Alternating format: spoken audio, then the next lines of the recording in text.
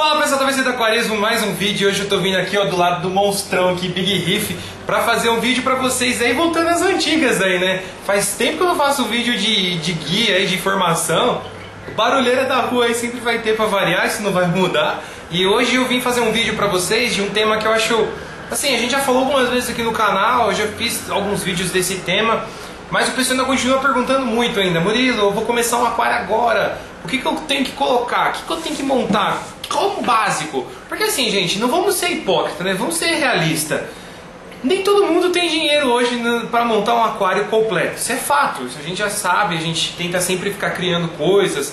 Né? Lá no começo do meu canal eu mostrei para vocês que vocês poderiam usar areia de construção, porque a gente vê o preço do quilo, de um quilo de areia numa loja e um quilo do, do, do, da areia de construção na, na casa de construção. Então assim, a gente sabe que há alternativas. E muita gente precisa dessas alternativas, está pedindo essas alternativas. Murilo, me ajuda, eu quero alguma dica diferente, eu quero poder montar um aquário, quero cuidar bem dos peixes, eu quero monitorar o aquário, mas eu não tenho dinheiro para comprar tudo do, do melhor. Só o busão passar aí, né, barulheira? Eu moro numa avenida, galera, então assim, tem muito barulho, tá? Vocês estão acostumados, né? Na outra casa era helicóptero, era avião, era moto, era o tiozinho do pão, agora é busão.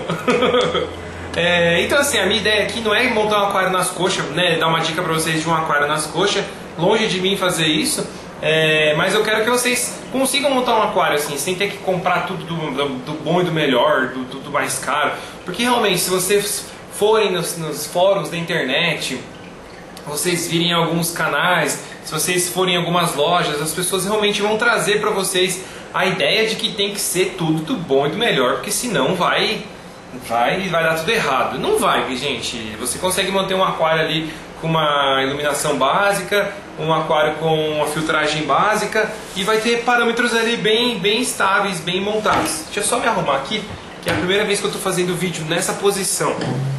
Então, a luz está estourando aqui a tela. vou arrumar aqui e já volto. Bom, acho que foi um pouquinho melhor, né? Vamos lá então. É, então assim, eu quero, é essa dica que eu quero dar pra vocês, tá? É isso que eu quero trazer pra vocês aqui. Então vamos lá, vamos começar. Mas antes de começar, né, óbvio, eu sempre vou... Caramba, velho! Aqui também tem moto, galera. Que difícil, mano. Difícil gravar à tarde, hein? Bom, vamos lá. Então assim, antes de a gente começar esse vídeo, eu queria pedir pra vocês, se vocês já estão seguindo a gente na nossa rede social, o Instagram, tá passando aqui embaixo, ó, o Instagram do canal. O, o nosso Instagram lá é junto com... Caraca, vai tá impossível gravar hoje. e o nosso Instagram lá é junto com o Instagram do canal Forfé, que também tá aqui, ó. Tá, tem aqui na descrição, aqui, ó. Entra lá e clica lá no nosso canal, segue o nosso canal, porque aqui no Obsessão do Aquarismo eu tinha mania de mostrar pra vocês outras coisas da minha vida, vocês pediam pra ver. E aí muita gente começou a reclamar e eu criei um canal pra mostrar só o meu dia a dia, as outras coisas além do aquarismo. Lá também eu mostro um pouquinho umas palhinha lá no meu aquário marinho, mas eh, lá vocês vão ver mais sobre a minha vida. E aqui fica focado só no aquarismo. Então segue nosso Instagram, segue nossas redes sociais, fica com a vinheta, bora lá pro vídeo.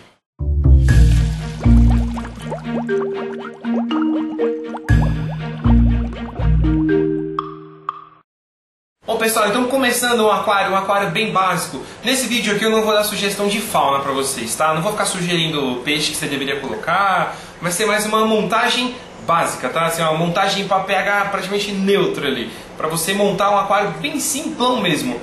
Então o que, que você vai precisar? Primeiro, óbvio, do aquário, né? Isso é óbvio, né? E você vai conseguir aquários aí, gente, de tudo quanto é tamanho, tá? A realidade é que você consegue aquários de 5 litros, 2 litros até o infinito aí que sua casa comportar e o seu bolso também. Mas o que eu gosto assim, eu indicaria muito para um iniciante, eu, se eu for falar assim, ah, meu, é, tem que ser um aquário de no mínimo X, eu vou estar sendo de novo aqui fugindo do tempo, que a minha ideia é o que você consegue montar e manter, um aquário básico. Eu gosto dos aquários de 30 litros ali, para quem está começando, é um aquarinho de 20 centímetros. É um aquarinho de 30 litros, é um aquarinho que assim, não adianta achar porque ele é barato que você vai manter ele de qualquer jeito. A diferença é que você vai montar um aquário pequenininho, você vai ter que ter mais cuidado com a manutenção dele. Então você vai ter que lembrar de trocar água, você vai ter que lembrar de fazer a limpeza do filtro, você vai ter que monitorar os parâmetros com mais frequência. A sua troca de água vai ser com mais frequência. Gente, não sei o que está acontecendo, todo mundo saindo de ônibus hoje. E é uma sexta, sexta tarde. Mas está na hora do pico também, né? Por isso tá assim.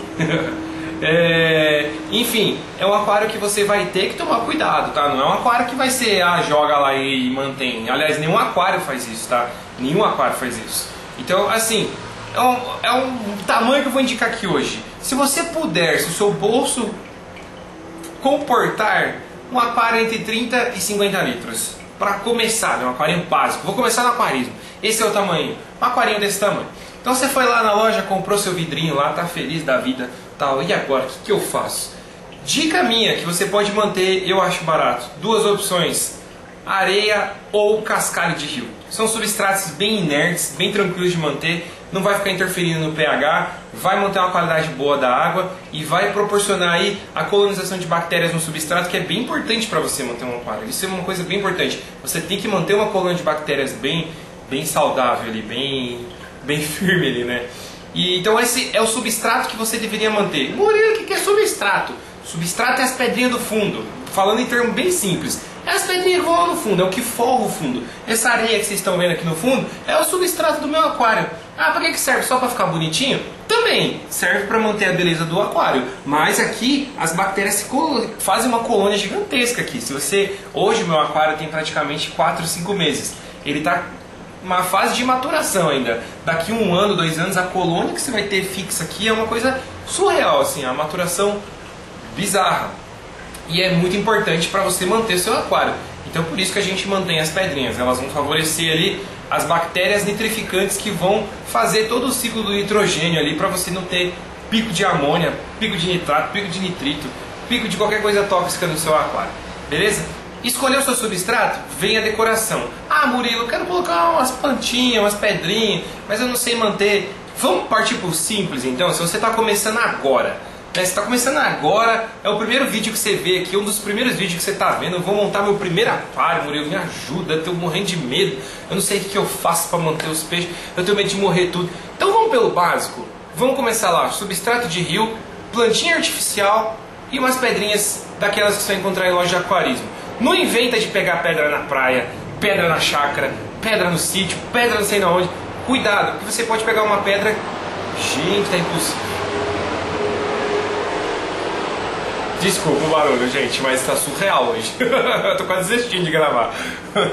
então não inventa de pegar nenhuma pedrinha diferente, porque você pode ter inserido alguma pedra que vai interferir nos parâmetros do seu aquário aí e você vai, vai perder o controle. Esse aquário que eu vou ensinar pra vocês aqui é para manter um pH neutro, você manter aquele pH neutrão para os peixinhos basicão ali, peixinho neutro que não vai precisar de um pH tão mega controlado, os parâmetros tão mega ajustados. Sim, você precisa manter o controle, mas não vai ser aquele peixe que não tolera variação nenhuma, entendeu? A gente sabe que tem diferenças entre as espécies. Isso é fato, né? A gente sabe disso.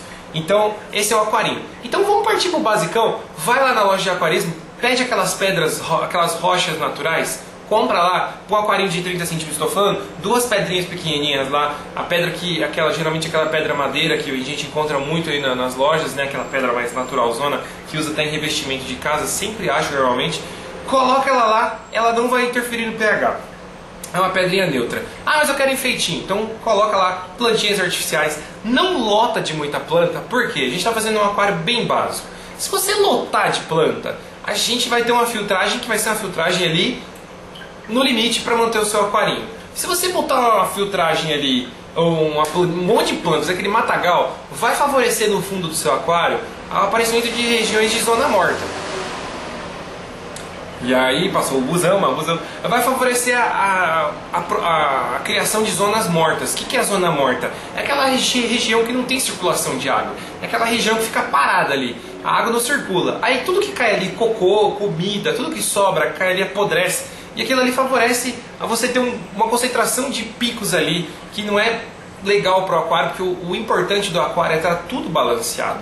Então, toda a sujeira é balanceada, ela cai no filtro, o filtro segura, as bactérias absorvem o que está diluído na água, não é ficar um canto ali apodrecendo, comida nem ração, tá bom? Então assim, montou o vidro, botou a areinha lá, botou o cascalinho de rio, cascalinho de rio aquelas pedrinhas de rio assim que tem, ela é bem, bem tranquilinha, é baratinho, não é cara. Botou lá, fez uma camadinha de dois dedos assim, ó, dois dedos meus que são bem grandinhos, dois dedos assim, dois, três dedos, colocou lá a camadinha, colocou suas pedrinhas, colocou a plantinha artificial, tá montado o layout do seu aquário. Pronto, montou o layout do seu aquário, aí você já tem toda a parte estética ali que você queria. Ah, Murilo, posso colocar um papel no fundo, aqueles, aquelas folhas desenhadas? Pode, fica à vontade. Posso colocar plástico preto? Por lá de fora, você pode colocar o que você quiser no vidro de trás. Quer colar adesivo? Quer? Não tem problema. Por lá de fora, não tem problema. Beleza. Vamos para a parte dos equipamentos. Essa é a parte que normalmente todo mundo desiste, porque é a parte um pouco mais cara. Todo mundo fala, ah, eu não vou colocar a bomba dessa. Ah, eu não vou colocar aquecedor. Para que a minha cidade é tão quente? O problema, gente, não é o clima ser quente. Eu moro, eu morei muitos anos em Santo André e hoje eu moro em São Paulo, que é praticamente o mesmo clima. Se você falar do clima daqui, é um clima quente, não é um clima frio. Faz pouco, pouco frio no, durante o ano. Mas o problema é que é um clima mega instável. É um clima que de dia tá, sei lá, 29 graus e quando entardece cai para 22, né? Chega a cair para 20. Então assim, tá muito quente, de repente fica muito frio. Esse é o maior problema no aquarismo, é a oscilação de temperatura. A oscilação de temperatura acaba com a imunidade dos peixes, ela estressa o animal, faz a imunidade cair e faz todas as doenças que tiver ali incubada no aquário despertar. Ela vai atacar os peixes, principalmente o Ictio, que é um meninão vilão aí da época de frio. Então assim, é uma coisa que a gente procura evitar ao máximo a oscilação de temperatura, porque isso agride muito os peixes manter o aquário numa temperatura mais baixa faz menos mal do que deixar o aquário oscilando em temperaturas mais altas. Não deixa, por isso a gente precisa ter um aquecedor, um termostato. Ai Murilo, mas está explicando demais. Tô, porque muita gente fica confuso. A gente não entende. O que é o termostato, Murilo? Eu fui na loja, o, o, o vendedor só falou para mim que só tinha aquecedor. O aquecedor, todo aquecedor com termostato é um aquecedor. O, o, todo o canal de aquarismo normalmente que você for ver, fórum, o pessoal tem o costume de chamar de termostato. A gente pegou esse, esse bordão aí de falar termostato.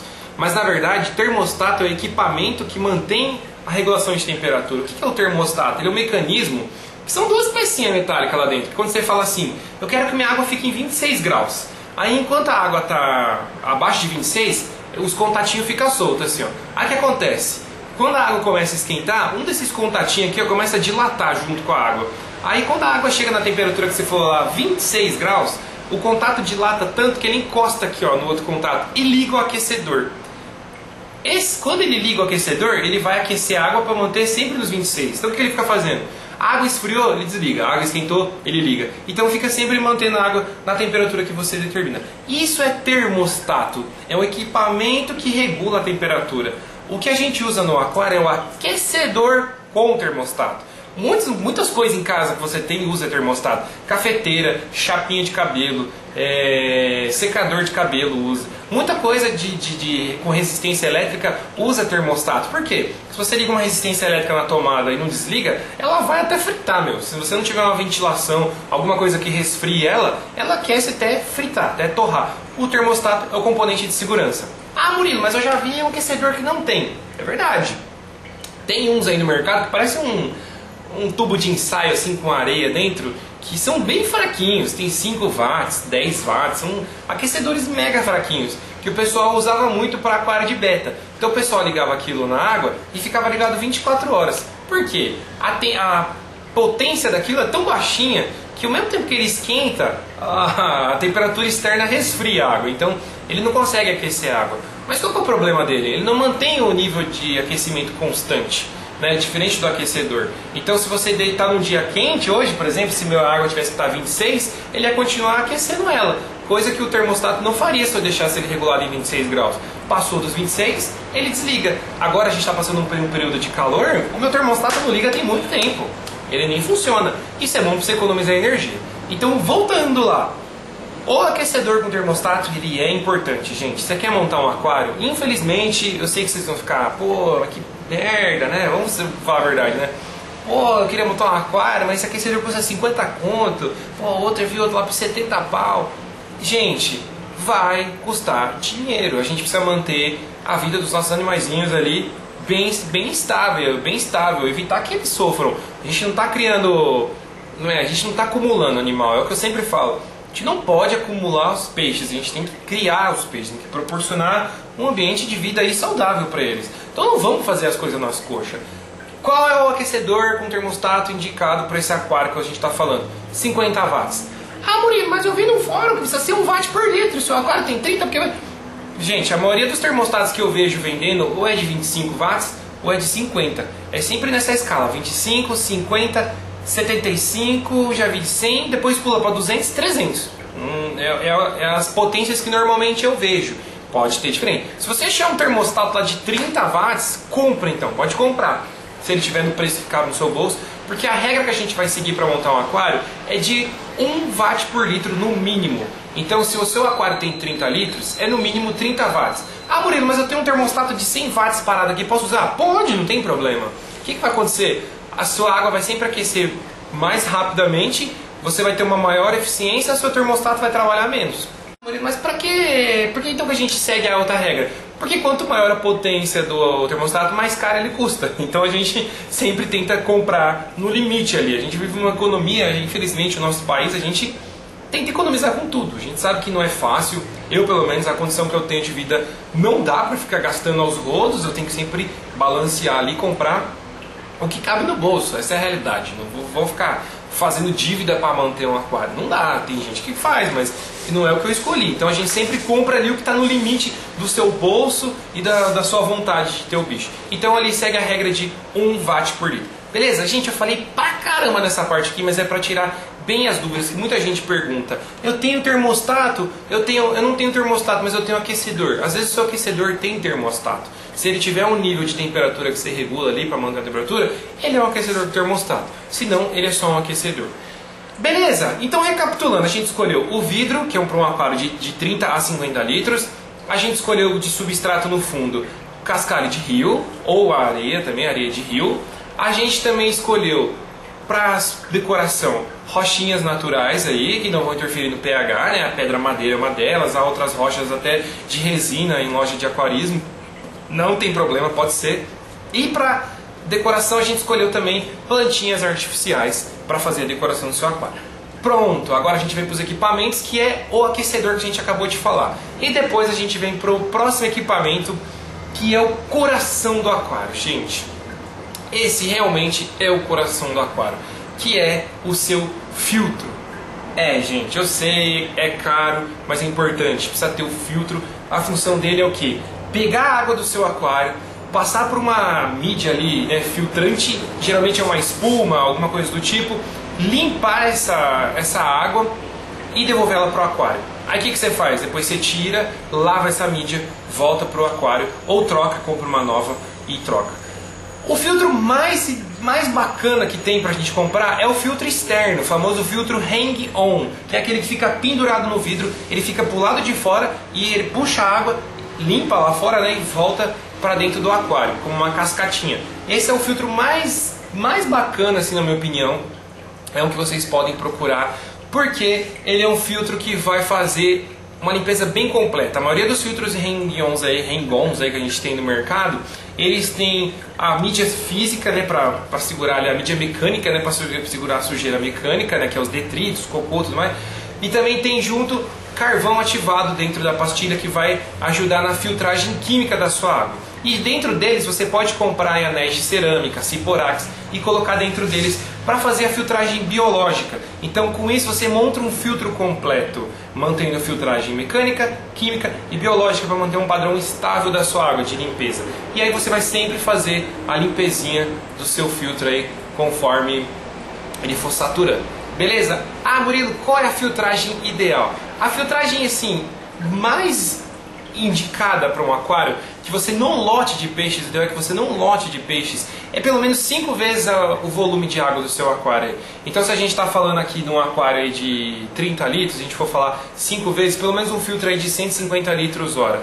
Eu ainda acho pouco, eu gosto sempre de pecar pelo excesso e partir para 10 vezes a litragem. Então eu pegaria aí um filtro de 300 litros hora, eu acho que é mais bacana. E gente, nunca super popular o aquário. Um aquário de 30 litros desse, eu não vou falar um número de peixes, porque depois vocês podem achar, ah, se ele falar 5, é 5 king, 5 pirarucu, 5 carpa, entendeu? Então assim, é 5, dependendo se fosse lebiste, se fosse king não seria nenhum, porque o aquário é pequeno. Então assim, tudo isso é relativo, tá? A gente vai fazer outros vídeos aqui falando de litragens mínimas para faunas e tudo mais, mas hoje a ideia é que você monte um equipamento básico.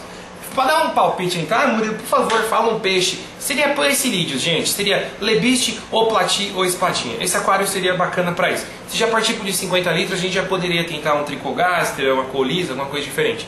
Mas, basicão do basicão, é isso aí. Número de peixes, gente, poucos, porque eles vão reproduzir.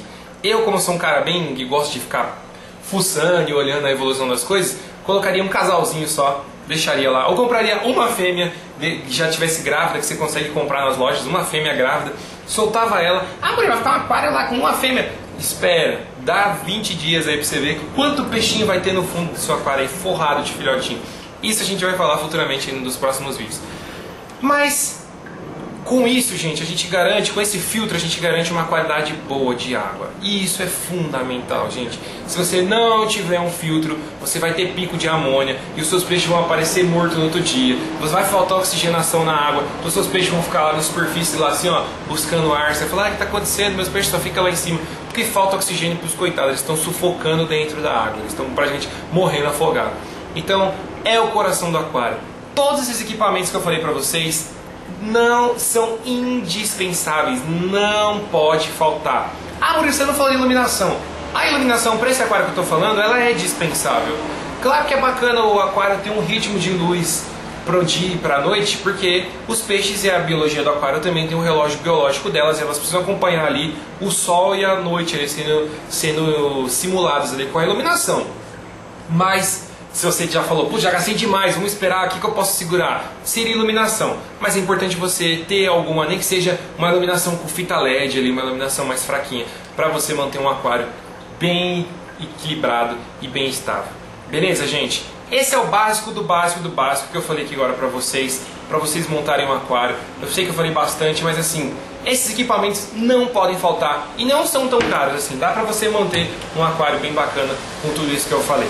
Beleza? Espero que vocês tenham gostado dessas dicas, espero que eu tenha ajudado. Se vocês tiverem mais dúvidas, entra lá no Instagram, me manda um direct, eu ajudo vocês, ou comenta aqui. Aqui eu não consigo mais responder todos os comentários, porque a plataforma do YouTube para celular é muito ruim. Eu respondo alguns ainda, mas eu consigo só ler, não consigo responder. Mas lá no Instagram eu respondo todo mundo. Beleza? Então segue no Instagram, segue o BC, segue o nosso canal Forfé, deixa o joinha, se inscreve. Até o próximo vídeo. Falou!